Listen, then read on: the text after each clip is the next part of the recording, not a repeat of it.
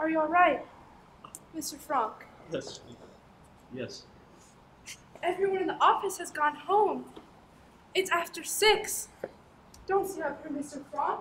What's the use in torturing yourself like this? Come to say goodbye. I'm leaving here, What do you mean? Where are you going? Where? I don't know yet. I haven't decided. But, Mr. Frank, you can't leave here. This is your home. Amsterdam is your home. Your business is here waiting for you now that the war is over. I There can't things. stay in Amsterdam, Miep. There's too many memories for me. Everywhere there's something. The house we lived in, the school, the street organ playing out there. I'm not the person you used to know me. I'm bitter, man. Forgive me. I shouldn't speak to you like this. After all that you did for us, the suffering. No, no, it wasn't suffering. You can't say we suffered. I know what you went through. You and Mr. Kraler. I'll remember it as long as I live.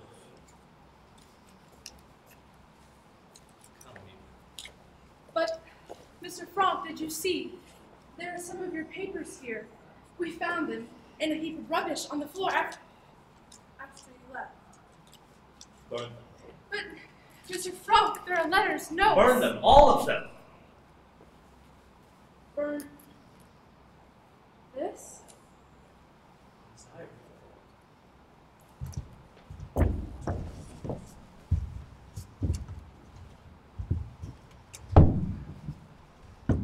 Monday, the 6th of July, 1942. 1942. Is it possible? Only three years ago. Dear Diary, since you and I are going to be great friends, I will start by telling you about myself. My name is Anne Frank.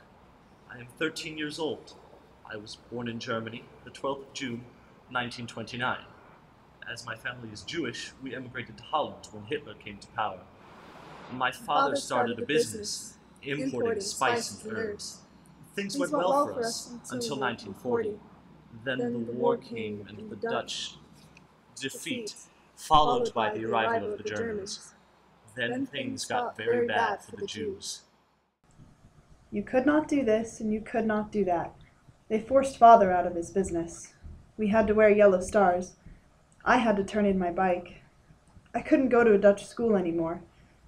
I couldn't go to the movies, or ride in an automobile, or even on a streetcar, and a million other things. But somehow we children still managed to have fun. Yesterday, father told me we were going into hiding. Where, he wouldn't say. At five o'clock this morning, Mother woke me and told me to hurry and get dressed. I was to put on as many clothes as I could. It would look too suspicious if we walked along carrying suitcases. It wasn't until we were on our way that I learned where we were going. Our hiding place was to be upstairs, in the building where Father used to have his business. Three other people were coming in with us the Van Daans and their son Peter. Father knew the Van Daans, but we had never met them.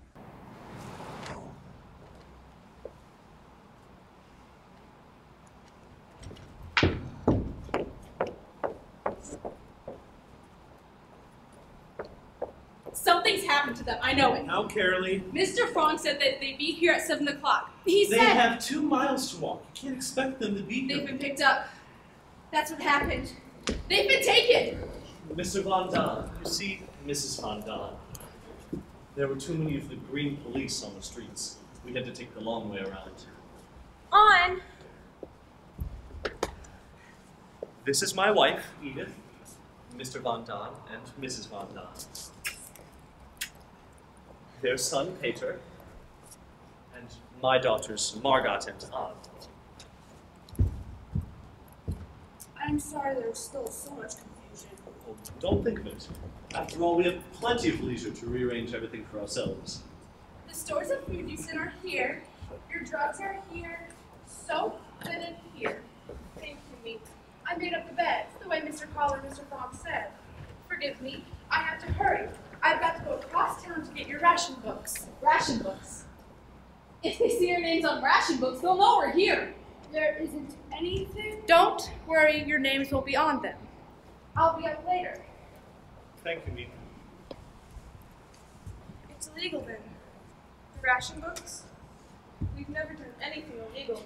Well, we won't exactly be living according to regulations here. This isn't the black market, Miss Frog. This is what we call the white market. Helping all of the hundreds and hundreds hiding out in Amsterdam. It's the Westertoren.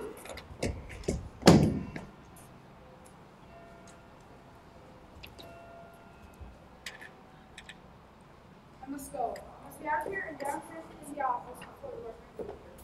You or I, or both of us, will be up each day to bring you food and news and find out what your needs are. Tomorrow, I'll need to get you a better bolt for the door. One day you can throw open. One day you can throw and open only at our signal. Oh, you told them about the noise. I'll tell them. Bye then. Goodbye, Mr. Kraler. How could we ever thank you? I never thought I'd live to see the day when a man like Mr. Frank would need to go into hiding. Just when you think. What did he mean about the noise? First, let's take off some of these clothes.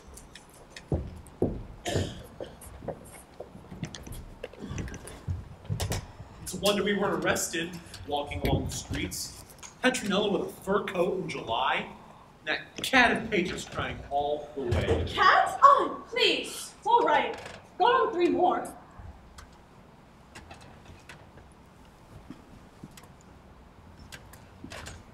Now, about the noise. While the men are in the building below, we must have complete silence. Every sound can be heard down there, not only in the workrooms, but in the offices too. The men come at about 8.30 and leave at about 5.30, so to be perfectly safe, from 8 in the morning until 6 in the evening, we must move only when necessary, and then in stockinged feet. We must not speak above a whisper, we must not run any water. That means that we cannot use the sink, or even, forgive me, the WC. The pipes go down through the workrooms, and they can be heard. No trash must ever be thrown out, which might reveal that someone was living here.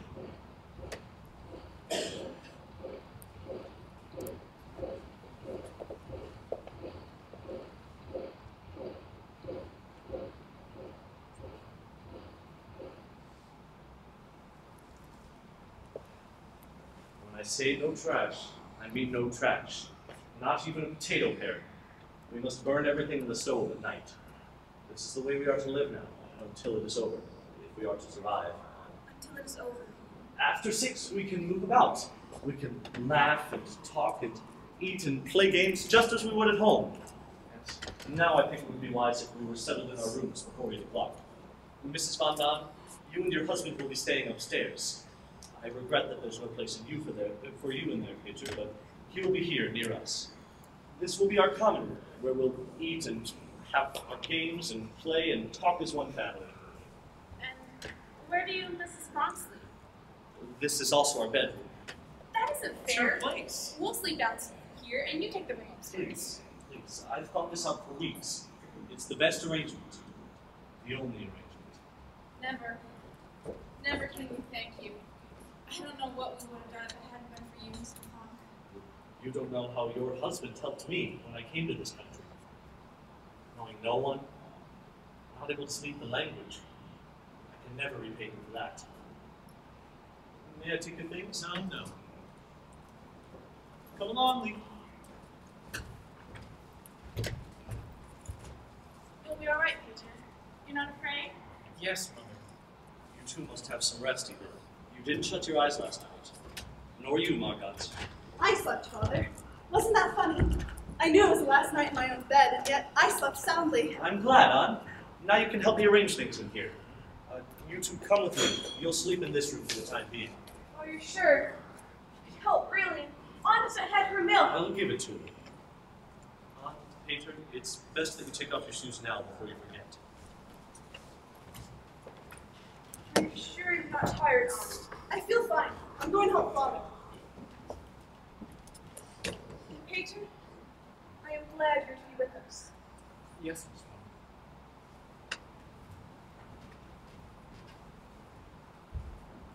What's your cat's name?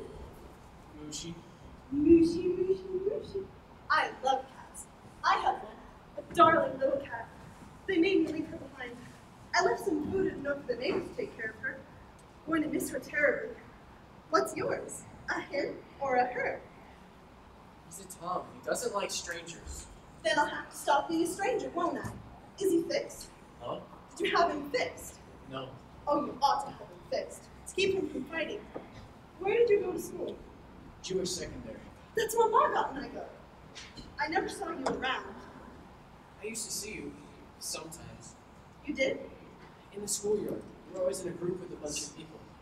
Why didn't you ever come over? Sort of a lone wolf.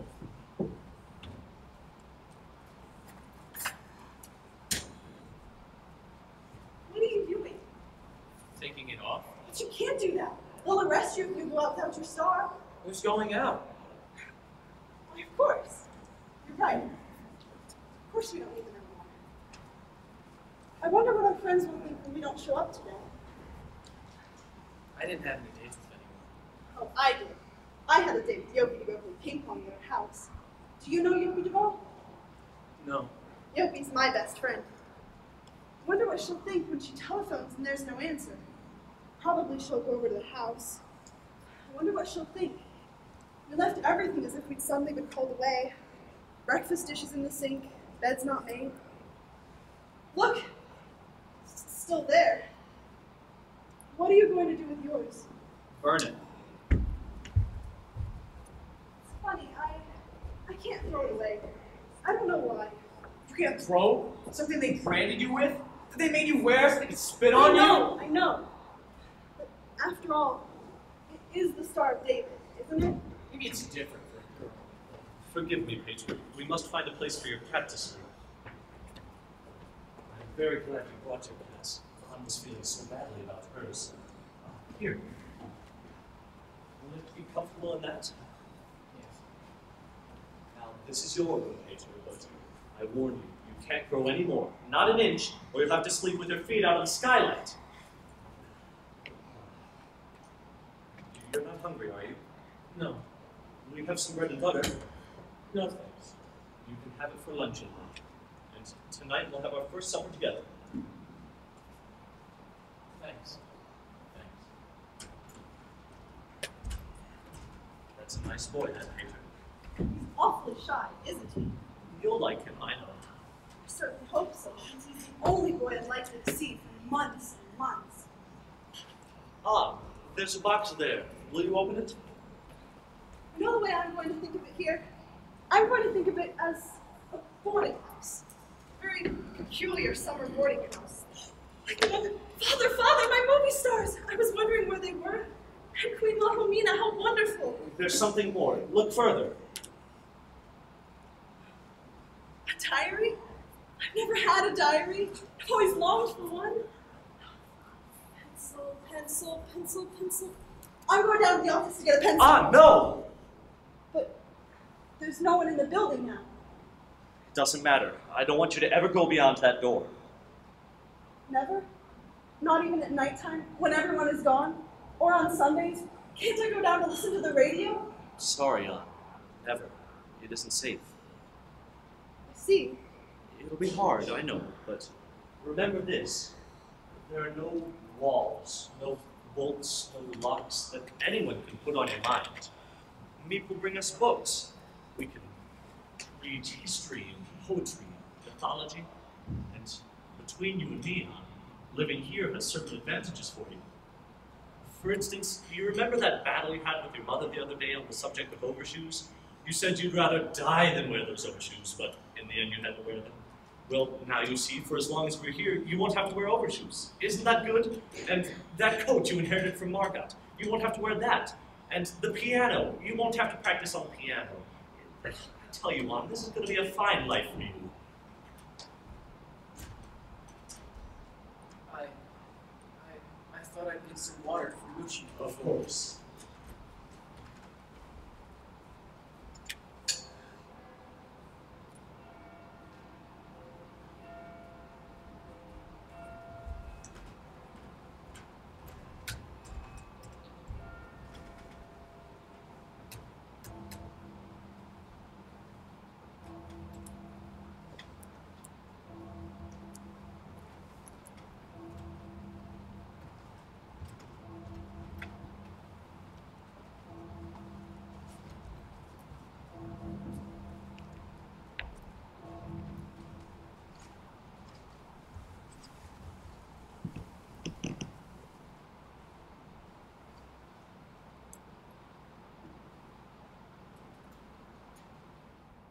I expect I should be describing what it feels like to go into hiding, but I don't really know yet myself.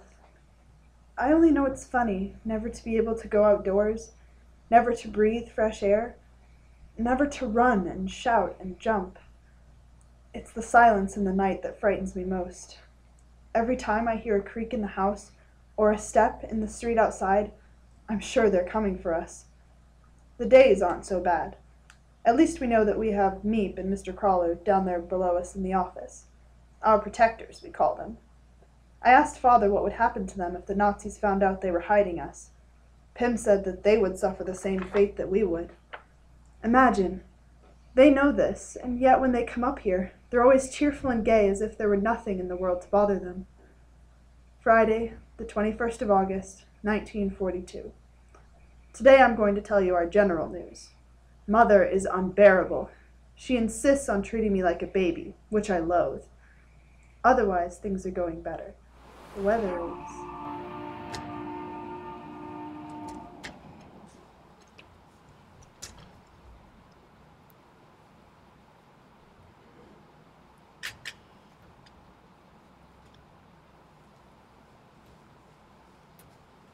Safe now. The last workman is left. Whee! On! Oh, I'm first for the WC.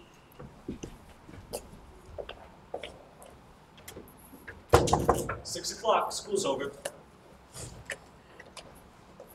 Have You seen my shoes?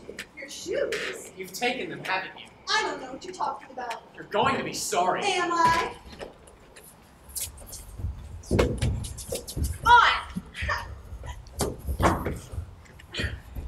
Wait till I get you. I'm waiting. Don't! Don't Peter, stop it! No! On! Peter! Peter, where are you going? Come dance with me. I tell you, I don't know how. I'll teach you. Going to give Lucius dinner. Can I watch? He doesn't let people around while he eats. Peter, please. No. Anne, dear. I think you mustn't play like that with Paige. It's not dignified. Who cares about dignified? I don't want to be dignified. You complain that I don't treat you like a grown up, but when I do, you resent it. I only want some fun. Someone to laugh and clown with. After you've sat all day and hardly moved, you've got to have some fun. I don't know what's the matter with that boy. He isn't used to girls. Give him time. Time? Is it two months' time? I could cry. Come on, Margot, dance with me. Come on, please. I have to help with supper. We know we're going to forget how to dance. We get out and won't remember a thing.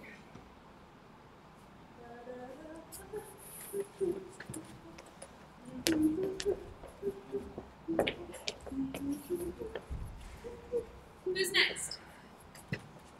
Where's Baker? Where would he be? He hasn't finished his lessons, has he? His father will kill him if he finds him up there with that cat of his and his work not done. Anne, get him out of there, will you? What is it? Your mother says to come out. For heaven's sake. You know what your father says. I haven't seen him since lunch. I'm just telling you, that's all. I'll feed Lucy. No, I don't want you in there. Peter! Fine, then give him his food and get out, will you? Now, is that any way to talk to your little girlfriend? Mother, please, will you stop saying that? Oh, look at him blush. Look at him. I'm not. Anyway, let me alone, will you? He acts like it's something to be ashamed of. It's nothing to be ashamed of to have a little girlfriend. You're crazy. She's only 13. And you're 16. Just perfect. Your father's 10 years older than I am. I tell you, Mr. Frog, if this war lasts much longer, you and I are going to be related. Mazel tov. I wonder where Beat is. She's usually so prompt.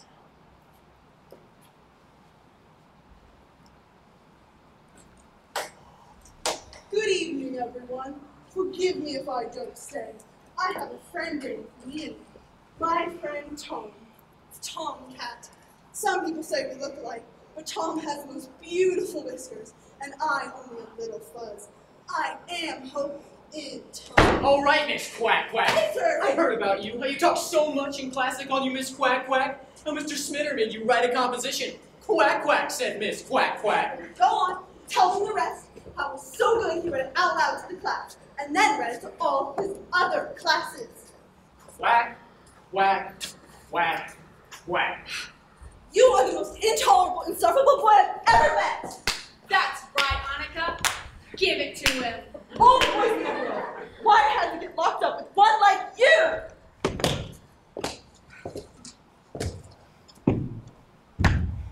Quack, quack, quack. And from now on, stay out of my room. Anne, dude, your hair. You're warm. Are you feeling all right? Please, mother. You have a fever, have you? No, no. Anneke, dear, don't do that. You know we can't call a doctor here ever. There's only one thing to do. Watch carefully. Prevent an illness before it comes. Let me see your tongue. Mother, this is perfectly absurd. Anne, dear, don't be such a baby. Let me see your tongue. Otto, You hear your mother on.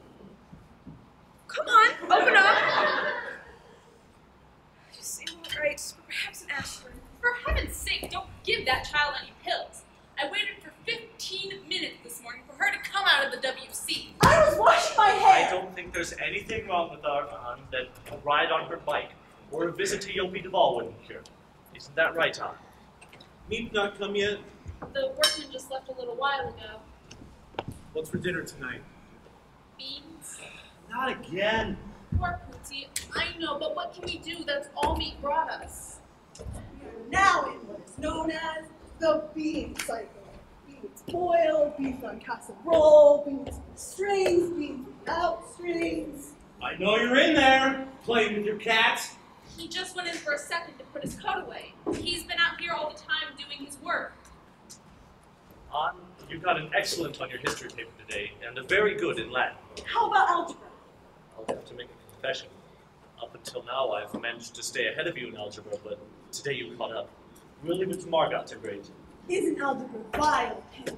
Vile. How did I do? Excellent, excellent, excellent, excellent. You should have used the subjunctive here. Should I? I thought. Look here. I didn't use it here. Mrs. London, may I try on your coat? No, on. Oh, it's all right, really. But be careful with it. My father gave it to me the year before he died. He always bought the best money could buy. Mrs. Van Daan, did you have a lot of boyfriends before you were married? On. That's a personal question. It's not courteous to ask personal questions. Oh, it's all right. Our house was always swarming with boys. When I was a oh, girl, Oh, God, not again. Shut up. One summer we had a big house in Hilversum. The boys came buzzing around like bees around a jam pot.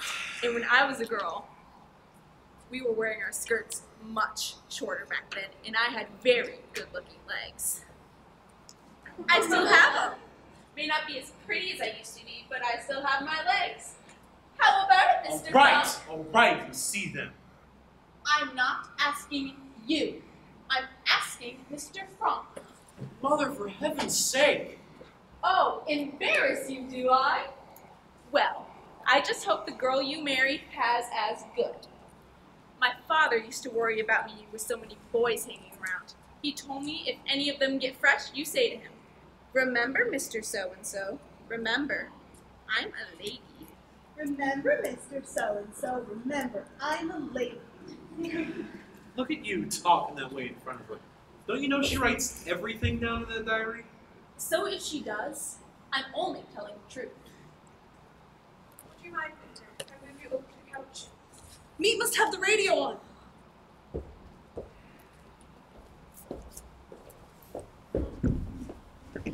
Haven't you finished yet? No. You ought to be ashamed of yourself. All right, all right, all right. I'm a dunce. I'm a hopeless case. Why do I go on? Don't talk like that. You're not hopeless. It's just that you haven't anyone to help you like the girls do. Maybe you can help him, Mr. Frank. I'm sure that his father. oh, not me. I can't do anything with him. He won't listen to me. So you go ahead if you want. How about it, Patriot? Would you care to make our school co-educational? Oh, you're an angel, Mr. Frank, an angel. Mwah! I don't know why I didn't meet you before I met that one over there. Now, Pater, you listen to Mr. Frank. I think it would be better if we studied in Patriots' room. That's right, Pater. You go in there. You listen to Mr. Frank. Mr. Frank is a highly educated man. Shh, I can hear a man's voice talk. Isn't it bad enough here without you sprawling all over the place? You know, if you didn't smoke so much, you wouldn't be so bad tempered. Am I smoking? Do you see me smoking? Don't tell me you've used up all those cigarettes. One package. Me only brought me one package. It's a filthy habit anyway. It's a good time Oh, to break stop it, please. You're smoking up all of our money. You know Will that, you shut up? What are you staring at? I never heard grown-ups quarrel. I thought only children quarreled. This isn't a quarrel, it's a discussion. And I've never seen children so rude before. I'm rude! On. While you're being in my knitting, I must remember when Miep comes to ask her to bring me some more wool. I need some hairpins and some soap. I made a list. Have you some library books to read when she comes? It's a wonder that Miep has a life of her own the way we make her run errands for us. Please, get me some starch. Please take my hair out and have it cut. Tell me all of the latest news. Did you know she was engaged? His name is Dirk, and Miep's afraid the Nazis are going to ship him off to Germany to work in one of their warplanes. That's what they're doing to some of the young Dutchmen. They picked them up off the streets. Don't you ever get tired of talking? Suppose you try keeping still for five minutes. Just five minutes! Come here, Anne. Finish your glass of milk. Ah, talk, talk, talk. I've never seen such a child. Where is my. Every evening it's the same. Talk and talk. Where in the. What are you looking My for? pipe. Have you seen my pipe? What good's a pipe? You haven't got any tobacco. At least I'll have something to hold in my mouth. Margot, have you seen my pipe? It was on the table last night. I know, I know. Anne, have you seen my pipe? Anne. My dear, Mr. Van Daan is speaking to you. Am I allowed to talk? You're the most aggravating! The problem with you is you've been spoiled. What you need is a good old fashioned spanking. Remember, Mr. So and so, remember, I'm a lady. Why aren't you nice and quiet like your sister Margot? Why do you have to show off all the time? let me give you a little advice, young lady. A man doesn't like that kind of thing in a woman. You know that? A man likes a lady who will listen to him every once in a while. A domesticated girl who loves to keep her house clean for her husband, who loves to cook and sew. and I cut my throat first. I open my veins. I'm going to be remarkable. I'm going to Paris Paris. to study music and art. yeah, yeah. I'm going to be a famous dancer or singer or something wonderful. Look what you've done. You clumsy little fool! My beautiful fur coat that my father gave me! I'm so sorry. What do you care? It isn't yours. So go on now. Run it! Do you know how much that coat cost? And now look at it. Look at it! I'm very, very sorry. I could just kill you for this. I could just kill you! Janella, come back. The supper. Come back. Auntie, you mustn't behave in that way. It's an accident. Anyone can have an accident. Don't mean that. You mean the answering back. You must not answer back. They are our guests. You must always show the greatest courtesy to them. We're all living under terrible tension, and that's why we must control ourselves. You don't hear Margot get into arguments with them, do you? Watch Margot. She's always courteous with them, never familiar. She keeps her distance, and they respect her for it. Try to be like Margot. Have them walk all over me the way they do her. No thanks. I'm afraid that anyone's going to walk all over you, Anne. I'm afraid for other people that you will walk on them. I don't know what happens to you. You're wild. If I ever talk to my mother, mothers, you talk to me. Things have changed. People aren't like that anymore. Yes, mother, no, mother, anything you say, mother. I've got to fight things out for myself, make something of myself. But it isn't necessary to fight to do it. Margot doesn't fight, isn't she? Margaret, Margaret, Margaret, Margaret. That's all I hear from everyone. How wonderful Margaret is. Why aren't you like Margaret? Oh, come on, Anne. Don't be so. Everything she does is right, and everything I do is wrong. I'm a goat around here. You're all against me, and you worst of all. Anne.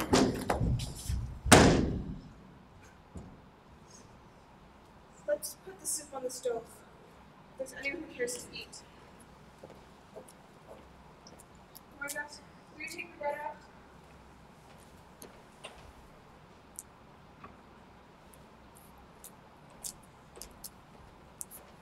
I don't know how to go on living this way. I can't say words word to Anne. She flies at me. You know Anne. In half an hour, she'll be out here laughing and joking. And I told your father it wouldn't work. But no, he had to ask them, he said. He owed it to them, he said. He knows now that I was right. These quarrels, this bickering. Shh, shh. Every time I hear that sound, my heart stops. It's me. Father? Thank you, Margot. Has everyone his list? I'll get my notes.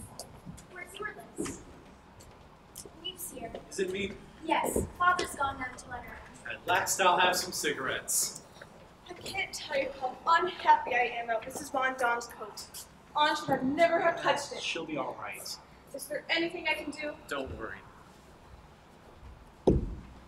Mr. Kraler, How are you, Mr. Crow? This is a surprise. when Mr. Kraler comes, the sun begins to shine. Eve is coming? Not tonight. Would you like a cup of coffee? Or better still, will you have supper with us? No, thank you. Mr. Kraler has something to talk over with us. Something, he says, which demands immediate decision. What is it? Normally when I come up here, I try to bring you some bit of good news. What's the point of telling you bad news do about it? Today something happened. Dirk, Peter, Henry, just now. He, he tells me that he has a Jewish friend living here, a dentist. He says he's in trouble. He begged me, could I do anything for this man? Could I find him a hiding place? So I've come to you. I know it's a terrible thing to ask you, these you all are. But will you take him in? Of course we'll take him. He's downstairs in the office. Good. Bring him up. His name is Dussel. John Dussel. Dussel. I think I know him. I'll get him. Forgive me, I spoke without consulting you, but I knew you would feel as I do. There's no reason for you to consult anyone. This is your place. You have the right to do exactly as you please. It's just the only thing I feel is that there's so little food as it is. And to take in one more person? We can stretch the food a little. It's only for a few days. you want to make a bet? I think it's fine to have him. Also, where are you going to put him? Where? You could have my bed. I could sleep on the floor. I wouldn't mind. That's good of you, Peter, but that room's too small, even for you. I have a much better idea. I'll come in here with you and Mother, and Margot can take Peter's room, and Peter can go in our room with Mr. Dussel. That's right. We could do that. No, no, you mustn't sleep in that room, Margot. Lucy's caught some rats in there. Peter's brave. He doesn't mind. Then how about this?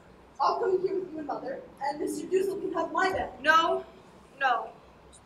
Margot will come in here with us. He can have her bed. It's the only way. Margot, bring your things in here. Help her on. Why, Margot? Why can't I come in here? Because it wouldn't be proper for Margot to sleep. Please, Anne, don't argue. Please. You don't mind sharing your room with Mr. Dussel, do you, Anne? No, no, of course not. Good. Where's the cognac? It's there. For Otto. I'm saving it in case of illness. I don't think we could find a better time to use it. Peter, will you give me five glasses? What happened? What's going on? Someone's moving in with us. In here. You're joking. It's only for a night or two until Mr. Crumb Ah, comes. yeah, yeah.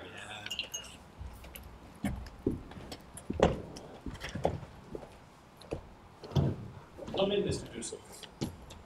This is Mr. Frank. Mr. Otto Frank? Yes, let me take your things. This is my wife, Edith. Mr. Van Daan and Mrs. Van Daan. Their son, Peter. And my daughters, Margot and Anne. Thank you all so very much. Mr. Dussel, I leave you in good hands. Oh, Brooks coat. What can I say to thank you?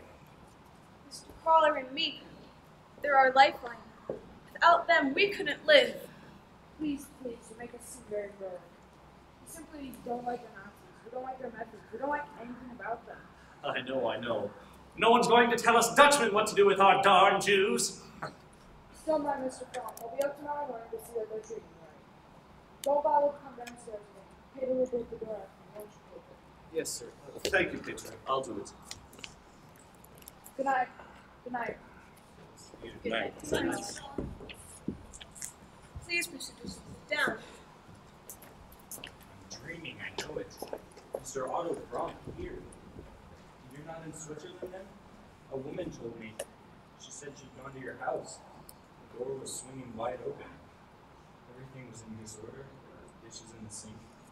She said she found a piece of paper with an address for you. An address in Zurich. She said you must have escaped to Zurich. Father put that there purposely, just so he would think that very thing. You've been here all this time? All this time, ever since July. It worked, Pim. The address you left. Mr. Dussel says that people believe we escaped to Switzerland. I'm glad. Let's have a drink to celebrate Mr. Dussel's coming. Mr. Dussel's coming. To Mr. Dussel, we're honored to have you with us. To Mr. Dussel, Welcome. Mm, that was good. Did Mr. Kraler warn you that you won't get much to eat around here? You can imagine. Three ration books among the seven of us, now you make it eight. Mr. Van Daan, you don't realize what's happening that you should warn me. You have no idea what's going on. Right here in Amsterdam, every day, hundreds of Jews are being deported. They surround the block and search house by house. Children come home from school to find their parents gone. Hundreds are being deported. People that you and I know. The Hollensteins, the Vessels, No, no. they get their call-up notice. To the Jewish theater on such and such a day and hour. Bring only what you can carry in your rucksack. If you refuse the call-up notice, I'll come and drag you from your home and ship you off to Mauthausen, the death camp.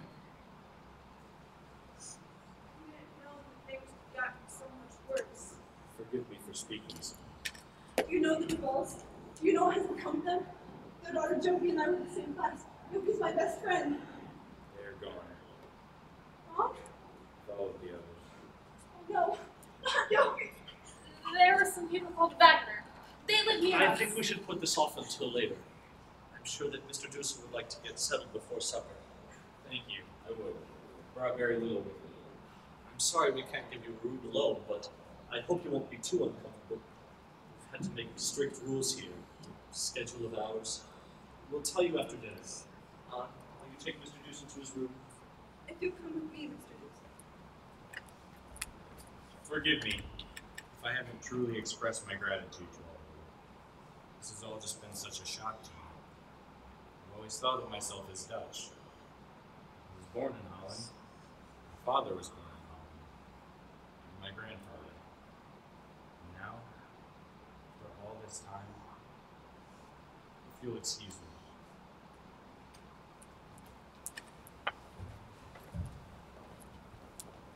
Well, here we are.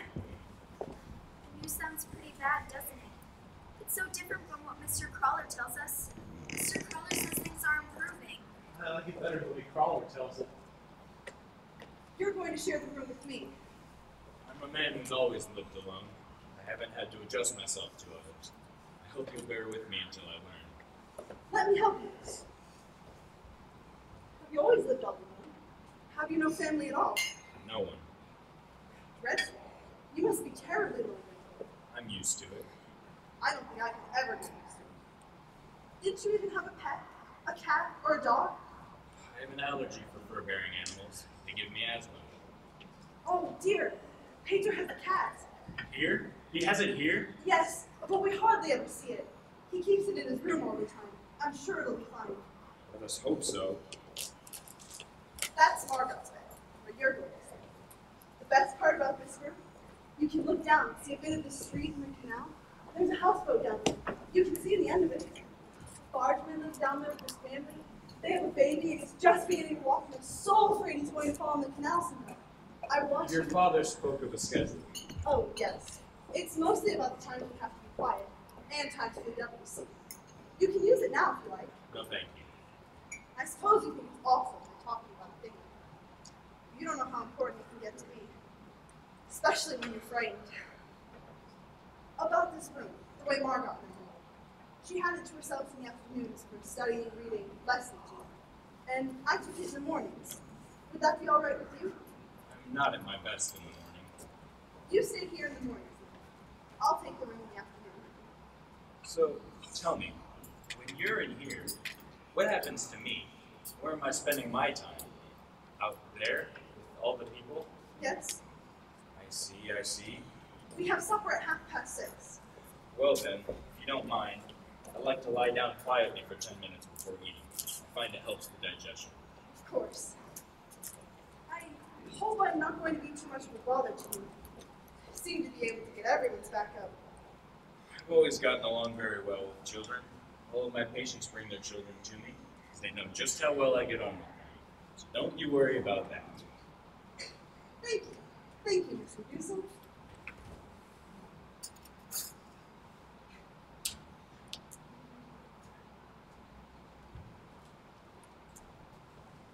And yesterday I finished Cissy van Marxveldt's latest book. I think she is a first class writer. I shall definitely let my children read her. Monday, the 21st of September, 1942. Mr. Dussel and I had another battle yesterday. Yes, Mr. Dussel. According to him, nothing, I repeat, nothing is right about me. My appearance, my character, my manners. While he was going on at me, I thought, Sometime I'll give you such a smack that you'll fly right up to the ceiling. Why is it that every grown up thinks he knows the way to bring up children, particularly the grown ups that never had any? I keep wishing Petra was a girl instead of a boy. Then I would have someone to talk to. Margaret's a darling, but she takes everything too seriously. To pause for a moment on the subject of Mrs. Van Daan. I must tell you that her attempts to flirt with father are getting her nowhere. Pim, thank goodness, won't play.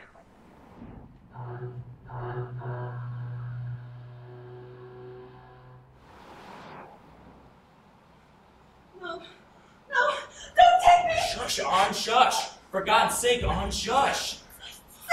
Anne shush. You want someone to hear? Anne, be quiet. For God's sake, Anne, be quiet. Hush, darling, hush. It's all right. Lay there. We be kind now. Turn the light, Mr. Dussel. It was just a dream. Mrs. Frank, something must be done about that child. Yelling like that. Who knows but there's someone on the street. She's endangering all of our lives. Poor Anne, little Anne.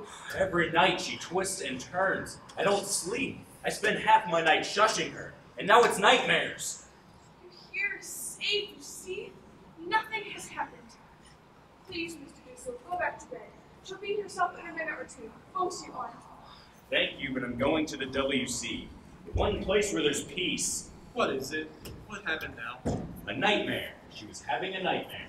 We thought someone was murdering her. Unfortunately, no. Thank you, Peter. Go back to bed. Would you like some water? A very, very bad dream. Perhaps you told me. I'd rather not talk about it. Poor darling. Try something. I'll stay right here beside you until you do. You don't have to. But I'd like to stay with you. Really. I'd rather you didn't. Very well then. Good night, Anne. Are you sure you're alright? There's nothing else you want? Will you please ask father to come? Of course, I'm too.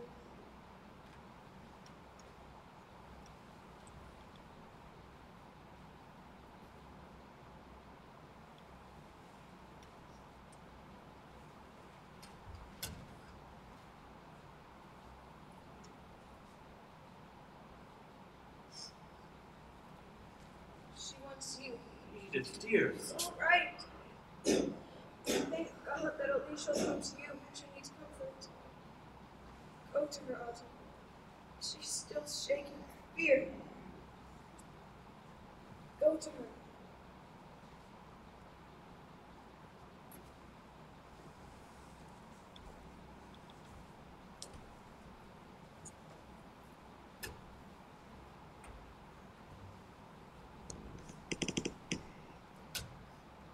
She wants nothing of me.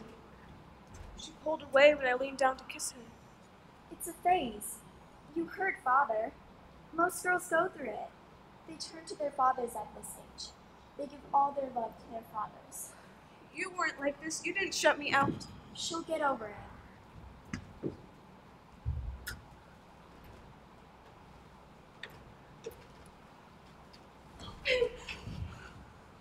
I dreamed they came to get us. The Green Police.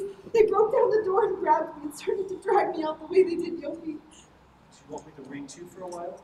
No, just stay with me for a minute. Was I awful? Did I yell terribly loud? Do you think anyone outside no, heard? no. Just lie quietly now. I'm such a terrible coward. I'm so disappointed in myself. I think I've conquered my fear. I think I've really grown up. Then something happens. And I run to you like a baby. I love you, Father. I don't love anyone but you. Anneke! It's true. I've been thinking about it for a long time now. You're the only one I love. It's fine to hear you tell me that you love me, but I'd much prefer it if you said you loved your mother as well. She needs you so much. Your love. You have nothing in common. She doesn't understand me. Whenever I try to explain my views on life to her, she asks me if I'm constipated. Very much just now. She's crying. She's crying. I can't help it. I only told the truth. I didn't want her. Pim, I was horrible, wasn't I? The worst of it is, I can stand off and look at myself doing it, and know it's cruel, and yet I can't stop doing it. What's the matter with me? Tell me. Don't say it's just a phase. Help me. So little that we parents can do for our children. We merely try to set a good example, show the way, The rest you must do yourself. You must build your own character. I'm trying. Really, I am. Every night before I go to sleep, I think back over all the things I did that day that were wrong. Like putting the wet mop in Mr. Deuce's bed. And this thing now, mother. I say to myself, that was wrong. I make up my mind, never going to do that again. Never. Of course, I may do something worse, but at least I'll never do that again. I have a nicer side, Father. A sweeter, nicer side. I'm afraid to show it. I'm scared that people are going to laugh at me if I'm serious. So mean Anne comes to the outside, good Anne stays on the inside. I keep on trying to switch them around. Good Anne outside bad Anne inside be what I'd like to be. Might be. Only.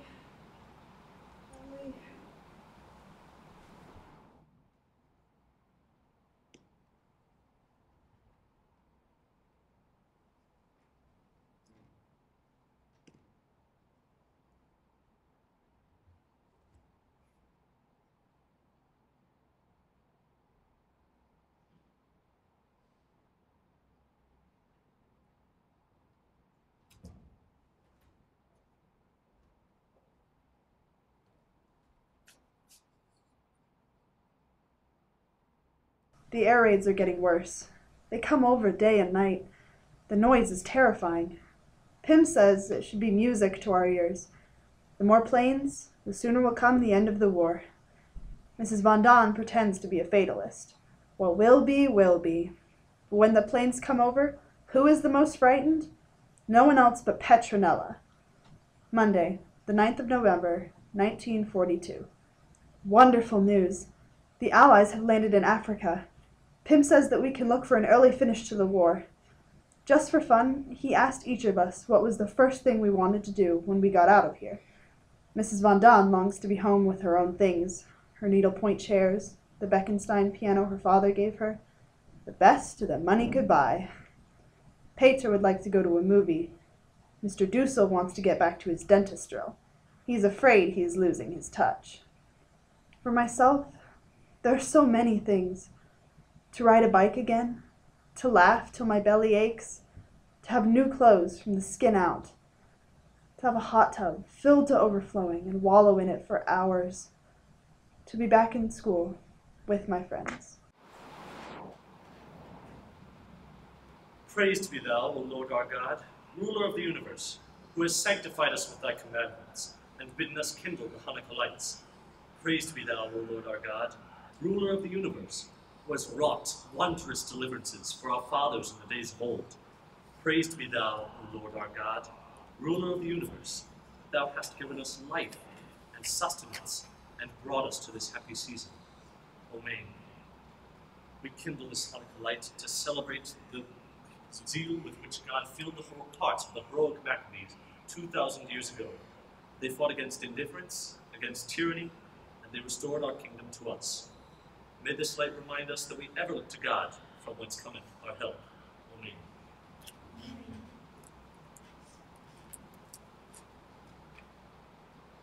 I lift up mine eyes into the mountains, from whence cometh my help. My help cometh from the Lord, who made heaven and earth. He will not suffer thy foot to be moved. He that keepeth thee will not slumber. He that keepeth Israel doth neither slumber nor sleep. The Lord is thy keeper. The Lord is thy shade upon thy right hand. The sun shall not smite thee by day, nor the moon by night. The Lord shall keep thee from all evil. He shall keep thy soul. The Lord shall guard thy going out and thy coming in, from this time forth and forevermore. Amen.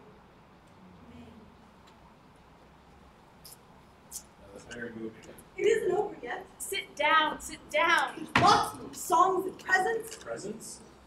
Not this year, unfortunately.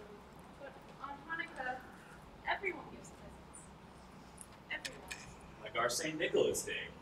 Oh, no, not like St. Nicholas Day. What kind of Jew are you that you don't know Hanukkah? I remember particularly the candles. First one, as we have tonight, and the second night, you light two candles, and the next night three, and so on until you have eight candles ready. And when there are eight candles, it's truly beautiful. Potato Can we don't talk about them? I make the best latkes you've ever tasted. Invite us all next year in your own home. God willing. God willing. What I remember best are the presents we used to get when we were little. Eight days of presents, and each day they got better and better. We're all here live. There's presents enough. No, it isn't. I've got something. What is it? Presents! Presents? What did you get them?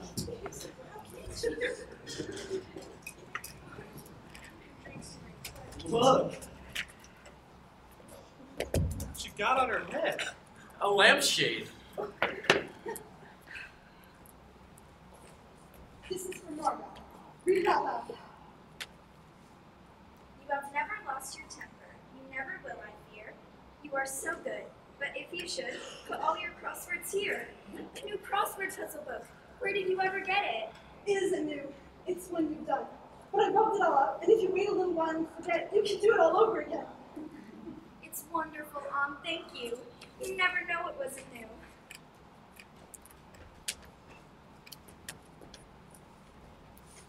Mrs. Rondon. I feel awful. I haven't anything for anyone. I. This was all Lon's idea. What is it?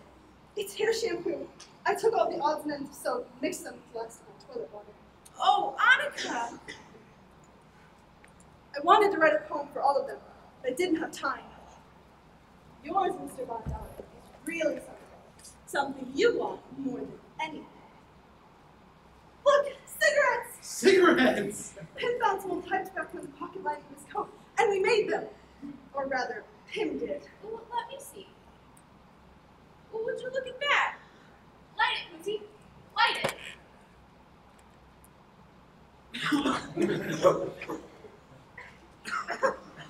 Thank you. It's tobacco, really is.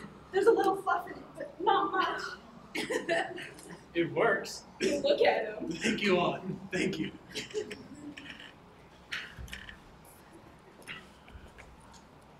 Mother, I'm reading.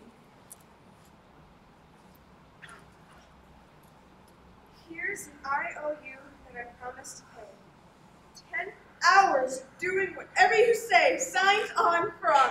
Ten hours of doing what you're told? Anything you're told? That's right. You wouldn't want to sell that, would you, Mrs. Brown? Never. This is the most precious gift you've ever had. Yours, Pim, is still in the works. I'm making it out of odds and ends. I'm knitting it, I'm knitting it in the dark tonight after I'm going to bed. But it's not done, and I'm afraid it probably looks better in the dark. Well, it's fine. Thank you, Lon. I wasn't supposed to have a present.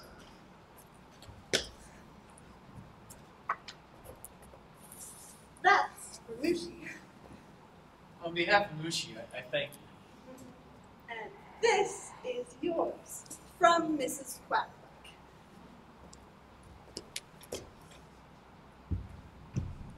Well, open it. Aren't you going to open it? I'm scared to. I know someone's gonna jump out and hit me. No, no, it's nothing like that. Really.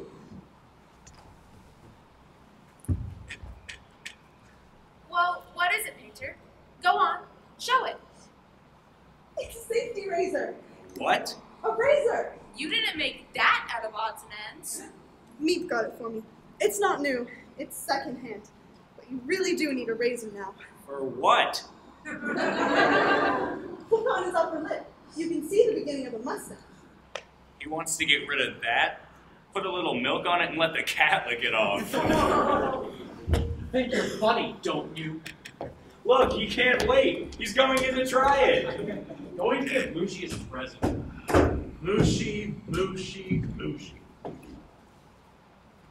last but never least, my roommate, Mr. Dussel. For me? You have something for me? I made them myself. Capsules. Two capsules. They're earplugs Earplugs? to put in your ears so you won't hear me when I thrash around at night. I saw them advertised in the magazine. They're not real ones. I made them out of cotton candle wax. Try them. See if they don't work. See if you can hear me talk. Wait till I get them in. So. Are you ready? What? Are you ready? Oh, good God. Oh, they've gone inside. I can't get them out. Oh, thank you, Aunt. Thank you. Now let's have the song, Father. The song the whole thing. Have you heard the Hanukkah song, Mr. Dussel? Oh, Hanukkah, oh, Hanukkah. I'm afraid um, we shouldn't sing that song tonight. It's a song of jubilation. and One is apt to become too enthusiastic. Please, please, let's sing the song. I promise not to shout. Very well, but if it gets out of hand, then we won't be able to do anything. you, you, I told you, out, out. What's the matter with you? Haven't you any sense? Get that cat out of here. Cat? You heard me. Get it out of here. I Haven't got a cat. Doesn't need to be the cat. His clothes are enough. He comes out of that room. Don't worry, you won't be bothered by it any longer. We're getting rid of it. At last you listen to me. Oh, I'm not doing this for you. That's all in your head. All of it. I'm doing it because I'm tired of seeing that cat eat all of our food. That's not true. I only give him scraps. Oh, don't oh. tell me he gets fatter every day. The damn cat looks better than any of us. Out he goes tonight. No! No! Mr. Blundell, you can't do that. That's Peter's cat. Peter loves that cat. On. If he goes, I go. Well, then go! Go! You're not going. And the cat's not going. Now, please. This is Hanukkah. Hanukkah! This is a time to celebrate. What's the matter with the both of you? Come on, on, let's have the song. Oh, Hanukkah, oh, Hanukkah. I think we should first blow out the candle. Then we'll have something for tomorrow night. But, Father, you're supposed to let it burn itself out. I'm sure that God understands shortages. We praise thee, O Lord our God, that thou hast permitted us to enjoy this wondrous festival. Amen.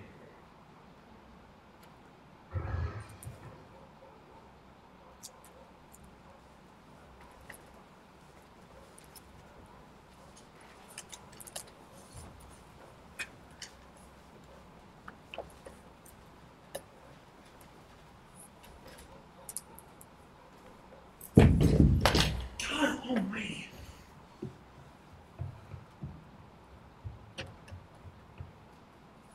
Do you hear anything? No, I they've gone. It's the Green Police. They found us. If they had, they wouldn't have left.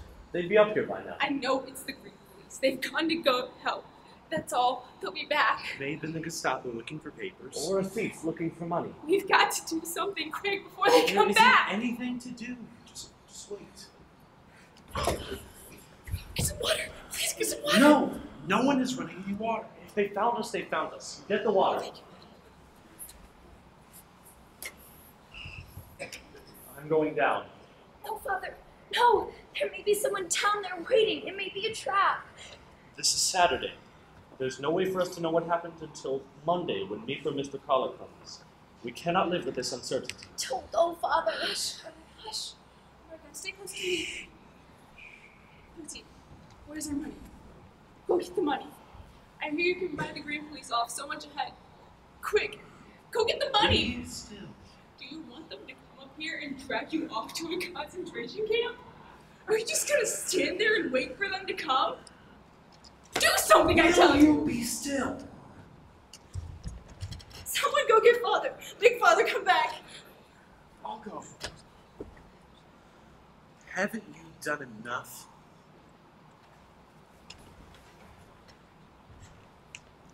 Please, please, Mr. Van Daan, get father. Quiet. Quiet. I lift up mine eyes into the mountains. From whence cometh my help? My help cometh from the Lord who made heaven and earth. He will not suffer thy foot to be moved. He that keepeth thee will not slumber. It was a thief. We're safe. Oh, thank God! He took the catch box and the radio. He left in such a hurry, he didn't bother to shut the street door. It was swinging wide open. I think it'd be good to have some light. Are you sure it's all right? The danger is past. We're safe. Be so terrified, Anna. Who says the danger is past? Don't you realize we're in greater danger now than ever? Mr. Dussel, will you be still? Thanks to this clumsy fool, there's someone who now knows we're up here. Someone now knows we're up here hiding. Someone knows we're here. Yes. But who is that someone? A thief. A thief! You think a thief is going to go to the Green Police and say, I was robbing this place the other night and I heard a noise over my head? You think a thief is going to do that? Yes, I think he will. You're crazy. I think that one day he will be caught, and then he'll make a deal with the Green Police. If they'll let him go, he'll tell them where some Jews are hiding. He's right. Father, we can't stay here now. Let's get out of here. Where? Where'd we go? I swear. Have we lost all faith? All courage? A moment ago we thought they'd come for us. We were sure it was the end. But it wasn't the end. We are alive. Safe. We thank thee, O Lord our God, that in thy infinite mercy thou hast again seen it fit to spare us. Amen. Now come on, on. Let's have the song. The song.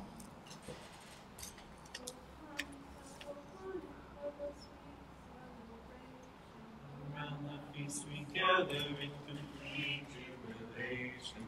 The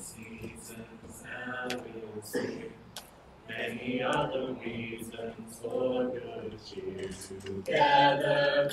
We'll weather whatever tomorrow may bring. So hear us rejoicing and merrily voicing the Hanukkah song that we sing. Hoy! So hear us rejoicing and merrily voicing the Hanukkah song that we sing. Hoy!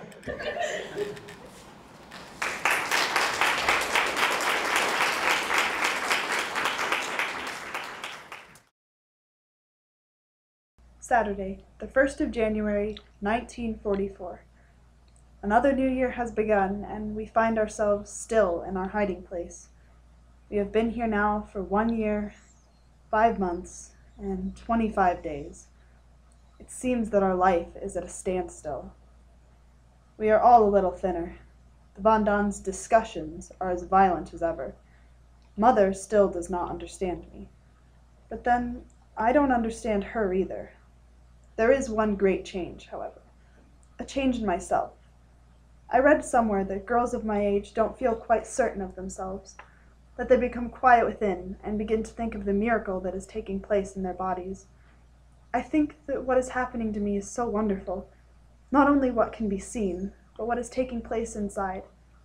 Each time it has happened, I have a feeling that I have a sweet secret, and in spite of my pain, I long for the time when I shall feel that secret within me again.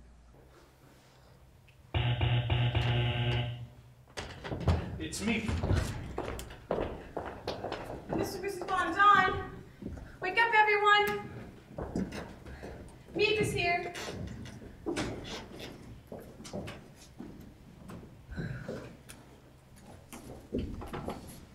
Miep. And Mr. Kraler, what a delightful surprise. We came to bring you New Year's greetings. Well, you shouldn't. You should have at least one day to yourselves.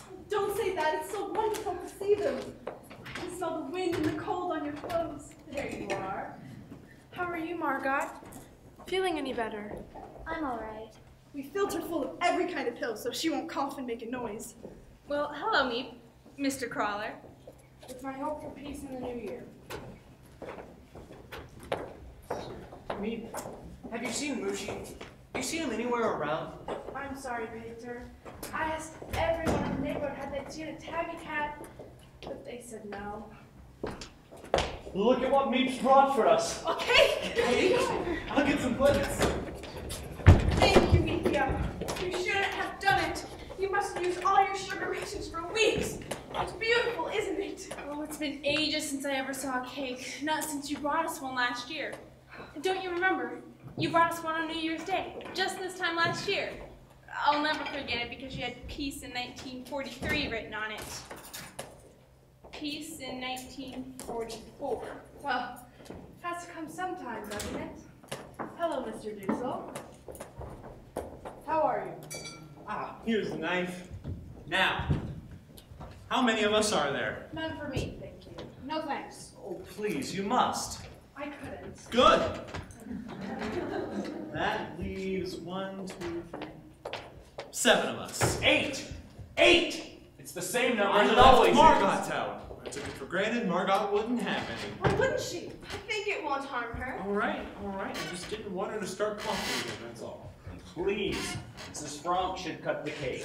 It's What's the not Mrs. difference? Cake, is it me? It's for all of us. Mrs. Frank divides things better. What are you Come trying on, to say? Stop wasting time. I cut everything exactly the same for everybody.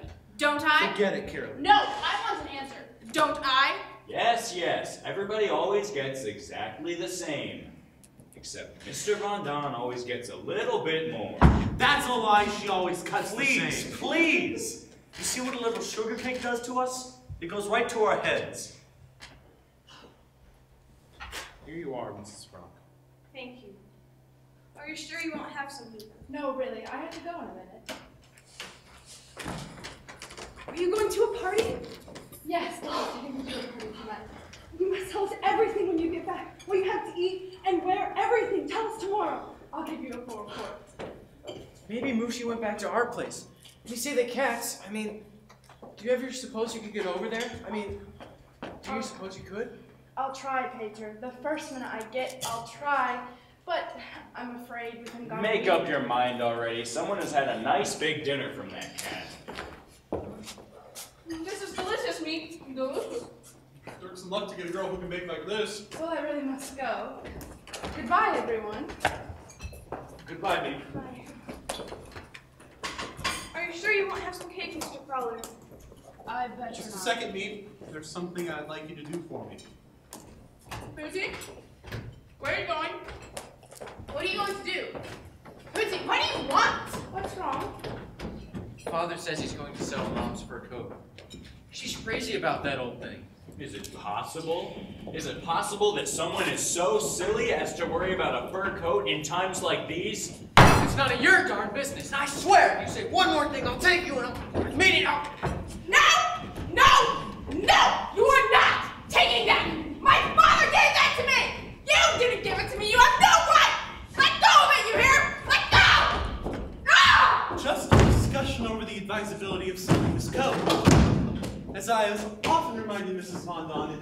Very rude and selfish of her to keep it to herself while people outside are in such desperate need of clothing. So if you'll please sell it for us, it should fetch a good price. And can you buy me some cigarettes? I don't care what kind they are, just get whatever you can. It's terribly difficult to get them, Mr. Van Daan, but I'll try. Goodbye, everyone. Goodbye, Mika. I mean, oh, please, Mr. Kraler, will you please have some cake? No, I'm ashamed. You still feeling badly? What does the doctor say? I haven't been doing yet. Now, Mr. Kraler. Oh, I've tried. But it's impossible getting here one of these days. They're always so busy. I eventually got one on the telephone with me. I told him I'd like an appointment. I wasn't feeling too well. But you know what he tells me over the telephone? Stick out your thumb.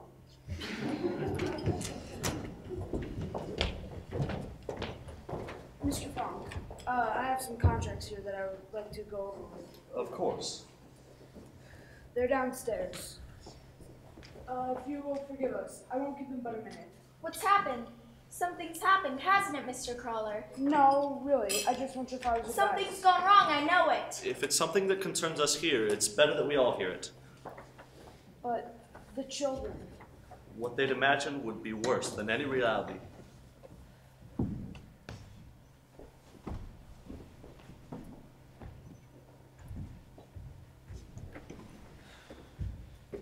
It's a man in the storeroom. Carl, about 50, heavy set, nearsighted. Came to us just before you left. He was from Utrecht? That's the man. A couple of days ago, I was in the storeroom, and he walked in and closed the door. He asked me, How's Mr. Frank? What do you hear from Mr. Frank?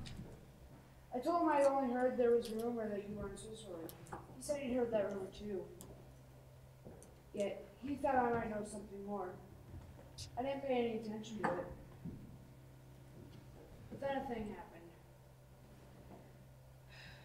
He brought some invoices into the office for me to sign. As I was going through them, I looked up. He was standing, staring at the bookcase. The bookcase that hides your door. He thought I remembered a door there. Wasn't there a door there that used to go to the loft? Then he wanted more money.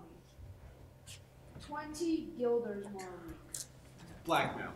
Twenty guilders? Very modest blackmail. It's just the beginning. You know what I think? He was the man that was down there that night. That's how he knows we're here. How was it left? What did you tell him? I told him I need to think about it. What should I do? Take a chance on firing him? Pay him money? I don't know. For God's sake, don't fire him. Pay him what he asks. Keep him here where you can have your eye on him. Is it so much that he's asking? What are they paying nowadays? He could get that in a war plant, Mr. Frank. This isn't a war plant. Mind you, I don't know if he does or doesn't know. Offer him half. Then we'll soon find out if it's blackmail or not. And if it is, we've got to pay it, haven't we? Anything he asks, we've got to pay. Decide that when the time comes. This might all be my imagination. You get to a point these days where you suspect everyone and everything based on a look or word. I found myself time and time again. That's the telephone. But what does that mean? The telephone ringing on a holiday. That's my wife. I told her to call me in English. I told her I had to go over some uh, contracts in the office. I told her to call me when she gets out of church. So I'll offer half then. Goodbye. We'll hope for the best. Goodbye, Mr. Kraler. You can thank your son for this, kicking the chair. I tell you, it's only a matter of time now. Sometimes I wish the end would come, whatever it is. Marriott! And at least we know where we were. You should be ashamed of yourself. Talking that way. Think of how lucky we are. Think of the thousands dying in the war every day. Think of the people in concentration camps. What's the good of that? What's the good of thinking of misery when you're already miserable? That's stupid. On. We're young, Margot, Peter, and I. You grown-ups have had your chance. But look at us. If we begin thinking of all the horror in the world, we're lost. We're trying to hold on to some kind of ideals when everything, ideals, hopes, everything are being destroyed. Now, on. It isn't our fault that the world is in such a mess. We weren't around when all of this started. On. So don't try to take it out on us. She talks as if we started the war. Did we start the war? She left her cake. You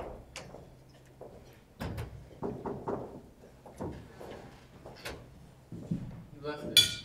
Thanks. I thought you were fine just now. You know just how to talk to them. You know just how to say it. I'm no good, especially when I'm mad. That Dussel, when he said that about Mouschi, someone eating him, all I knew is I, I wanted to hit him. I wanted to take him and give him such a that he, but here, and an old man like that, it wouldn't be so good. You're making a big mistake about me. I do it all wrong. I say too much.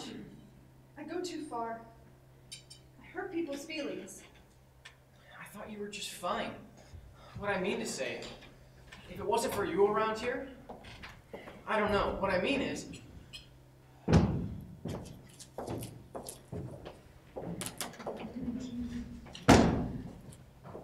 You mean it, Painter? I said it, didn't I? Thank you, Painter. You've got quite a collection here. Wouldn't you like some in your room? I could give you some.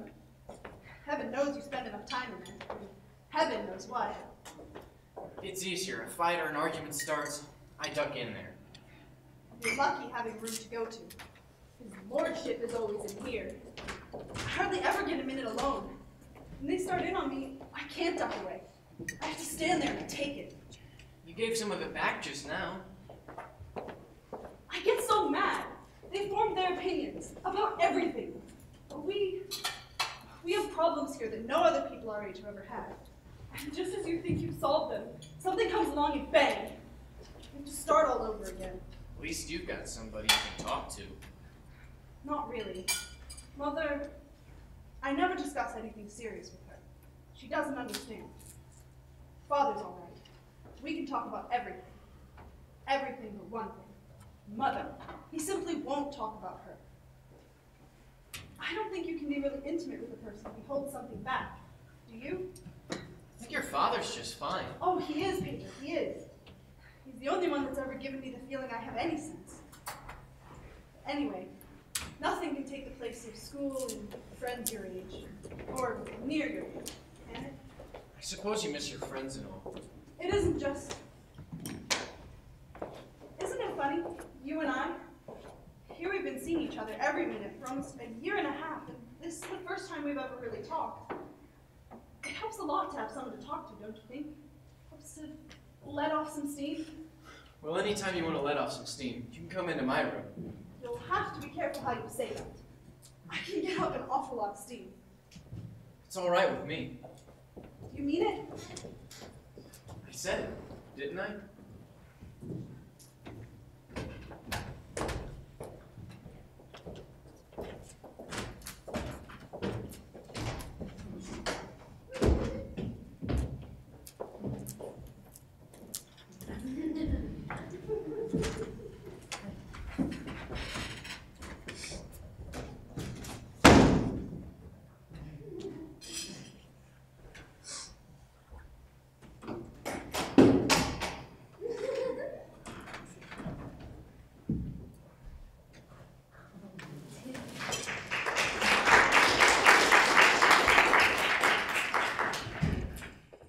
Had bad news.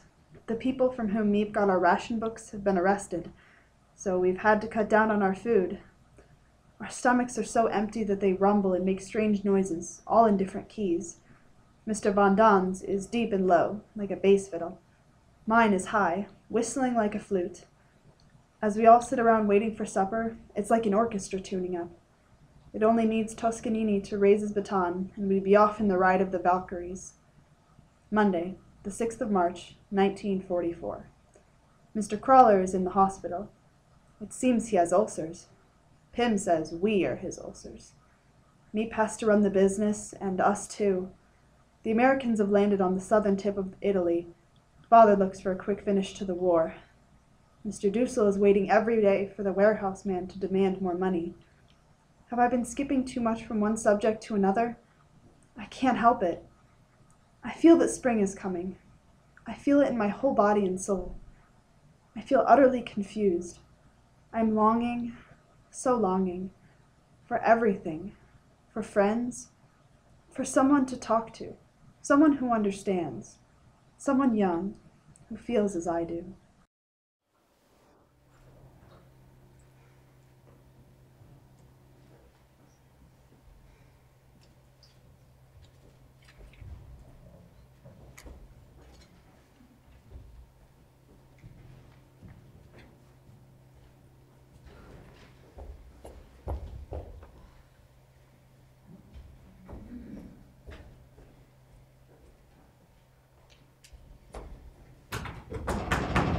No, no, Mr. Dussel, I am not dressed yet.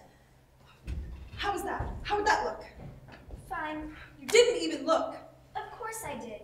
It's fine. Margot, tell me, am I terribly ugly? Oh, stop fishing. No, no, tell me. Of course not. You've got nice eyes and a lot of animation and. A little vague, aren't you? May I come in? Come in, Mother. Mr. Dussel's impatient to get in here. Heavens, he takes the room for himself the entire day.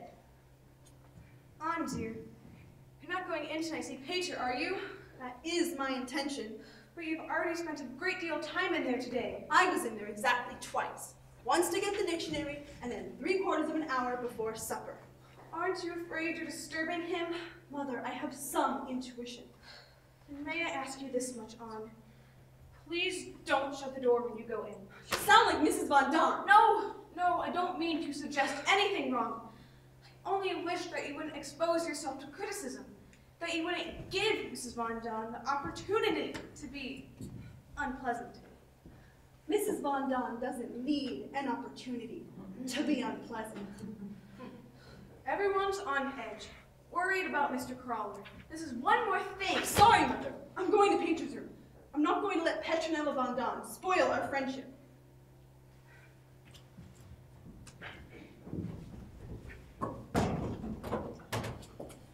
Why don't you two talk in the main room? It'd save a lot of trouble.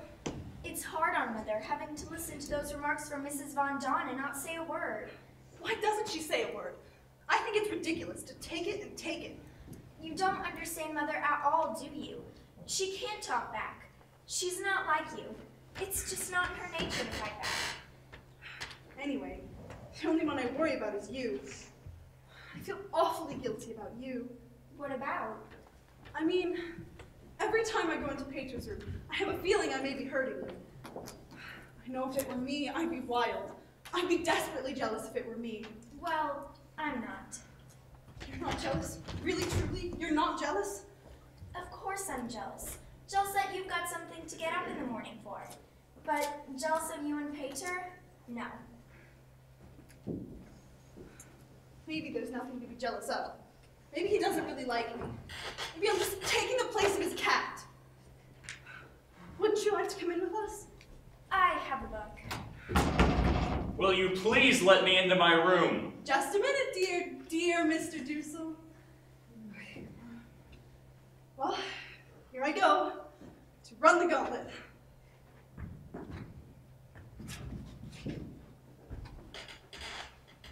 Thank you so much.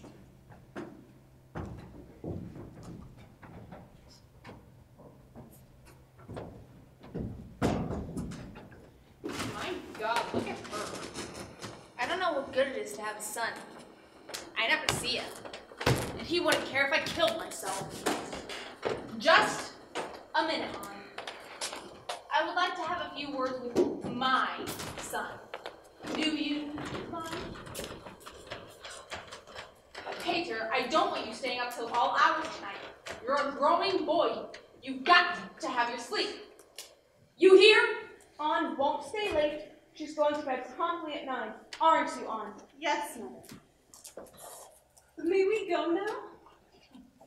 Are you asking me? I didn't know I had anything to say about it. Listen for the chimes, dear. Back in my day, it was the boys who called on the girls. You know how young people like to feel that they can have secrets?